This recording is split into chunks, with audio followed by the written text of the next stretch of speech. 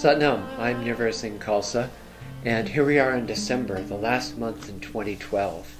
And December 21st, 2012, we start a whole new cycle of time according to the Mayan calendar. I'm sitting in front of this wonderful painting by P- Patricia Dobred, Amritkar. And if you saw the video last month, and I hope you've done those two kriyas along with me, that you saw this painting before of sacred geometry with the wonderful colors of, of orange and yellows, the warmness of, of, of walking into a new time and a new space. We're in the first year of the Aquarian Age. We celebrated you know, the whole first year of 11 11 11 last month and Yogi Bhajan was very specific about, and he talked a lot about exactly what it meant to live in the Aquarian age. Let me read you exactly what he said about it. It's pretty thought provoking, actually. This is in a lecture he gave in 1991. So the Aquarian age has set in. Piscean age, I want to know. Aquarian age is, I know it all I will serve. Piscean age is learn, pay your karma. Aquarian is I am the karma, no payment. Now, you're not going to fit in in that, and that's a tragedy. You can swim in a lake, but now you're in the ocean. Action and reaction now will be simultaneous. If somebody now tells you wake up, it's a waste of time. The only thing that one can say is, Are you awakened? Answer is yes, fine. Answer is no, wrong. That's it. This is the rule of self rule. You are never wrong, you cannot be wrong, and you have no authority to be wrong. So long as you are you, not for you, if you choose to be for you, then you have to be against you. You will never know you are for you or you are against you. All you will know is how much I can sell and who is buying me. That continues the theme that we talked about last month.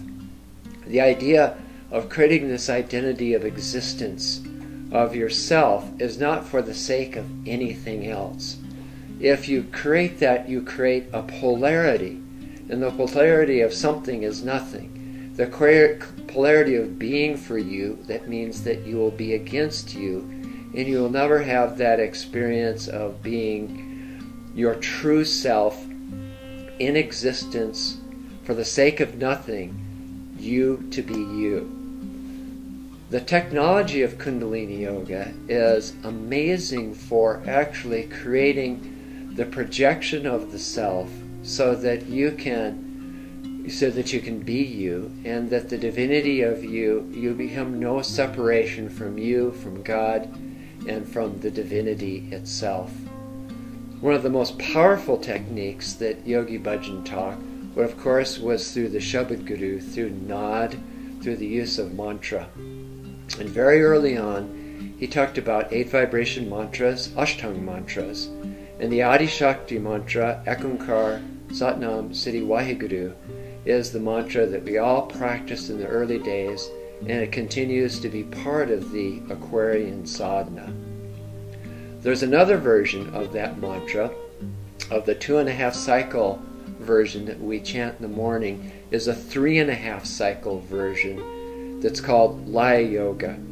And in the book 21 Stages, we practice this uh, Laya Yoga version of the Ashtang Adishakti mantra.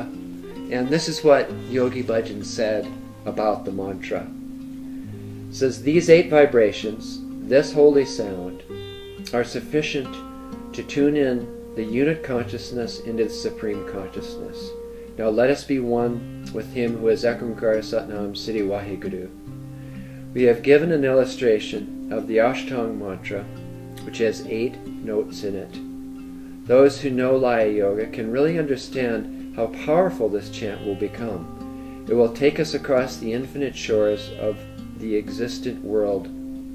Once we create these vibrations through our mental tune up, the mind goes into it, the body goes into it, and ultimately the spirit, the soul, takes over everything. then one who is a physical, mental, and spiritual being becomes one divine being. In this neutral way, one crosses to the, in, the infinite boundaries, and for a moment, that great power of the cosmos prevails through him.